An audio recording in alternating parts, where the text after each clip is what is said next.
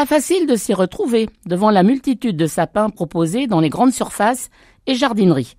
Pour choisir votre sapin de Noël, en toute connaissance de cause, Sylviane Boulière, conseillère à l'UFC Que Choisir, vous livre quelques informations et conseils pratiques. Bonjour Sylviane. Bonjour Françoise. Quel sapin choisir, naturel ou artificiel? L'artificiel présente l'avantage d'être réutilisable d'année en année. Mais l'inconvénient d'être en plastique, donc non renouvelable et non recyclable, est le plus souvent fabriqué en Chine. Son transport émet donc des gaz à effet de serre. Le sapin naturel, à l'inverse, absorbe du CO2 en poussant et il est cultivé, ce qui lui évite de contribuer à la déforestation.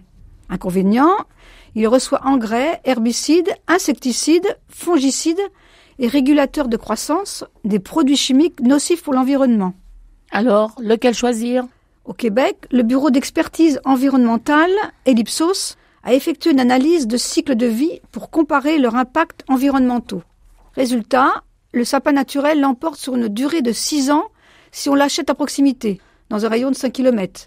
Mais l'artificiel a assurément moins d'impact si on le conserve 20 ans. En ce qui concerne les sapins naturels, que nous conseillez-vous, Épicéa Norman Eh bien, je vous dirais que c'est à chacun de voir, en sachant que l'épicéa coûte moins cher et dégage une odeur plus marquée, mais il perd davantage et plus rapidement ses aiguilles, tandis que le Nordman reste présentable plus longtemps sans joncher le sol de ses aiguilles, mais son prix est plus élevé et il est moins odorant.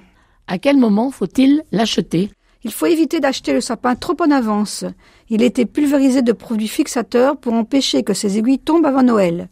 En principe, la coupe a lieu pendant la première quinzaine de décembre. Si l'hypermarché, le fleuriste ou la jardinerie sont approvisionnés dès le mois de novembre, c'est mauvais signe. Où faut-il l'installer? Prévoyez un emplacement à distance des sources de chaleur, chauffage, lampe forte, cheminée. Le placer de préférence près d'une fenêtre. Ne pas oublier de l'arroser. Quel conseil pour éviter tout risque d'incendie? Le sapin naturel peut devenir inflammable s'il est un peu sec et le sapin artificiel flambe en dégageant des vapeurs toxiques. Mieux vaut prendre alors quelques précautions. Le sapin doit être éloigné de tout ce qui brûle, en particulier les bougies. La neige synthétique accélère la combustion en cas d'incendie. Il faut renoncer à l'achat de sapins floqués ou givrés. Les guirlandes électriques doivent être allumées avec modération, au plus quelques heures d'affilée et seulement quand on est présent. Et enfin, dernier conseil, Sylviane, après les fêtes, comment s'en débarrasser? Alors, soit en déchets verts, quand on ne le replante pas, il faut s'arranger pour qu'il puisse être transformé en copeaux pour le paillage. De plus en plus de communes et grandes villes mettent en place des points de collecte provisoires. Quand ce n'est pas le cas, vous avez la déchetterie, à moins de disposer d'un broyeur de déchets verts pour pouvoir faire ses propres copeaux.